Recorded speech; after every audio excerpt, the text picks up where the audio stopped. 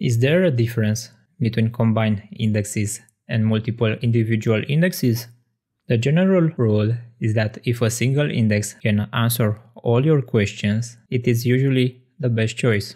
Let's suppose we have a table containing three columns, department, last name, and first name. An HR application would make use of a combined index like this. You will see that the data is ordered by the department column.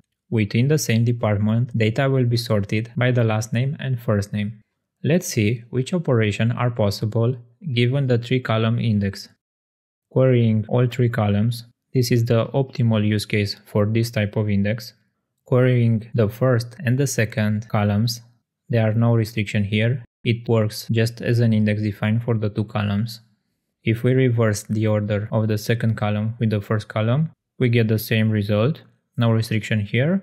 If we query only the first column, there are no restriction here, it works just as an individual index. However, the combined index obviously needs more space on the disk.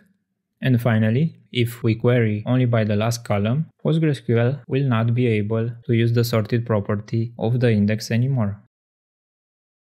Had you instead created three indexes for all columns, those could satisfy each individual type of search as well as the combined one. You will most probably end up seeing bitmap scan instead.